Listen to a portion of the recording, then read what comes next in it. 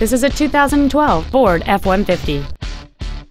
It has a 5.0-liter, 8-cylinder engine and an automatic transmission. Features include a double wishbone independent front suspension, a low tire pressure indicator, traction control and stability control systems, automatic locking wheel hubs, an engine immobilizer theft deterrent system, 12 volt power outlets, an anti lock braking system, side curtain airbags, door reinforcement beams, and power windows. Stop by today and test drive this vehicle for yourself. Helfman Ford is dedicated to doing everything possible to ensure that the experience you have selecting your next vehicle is as pleasant as possible.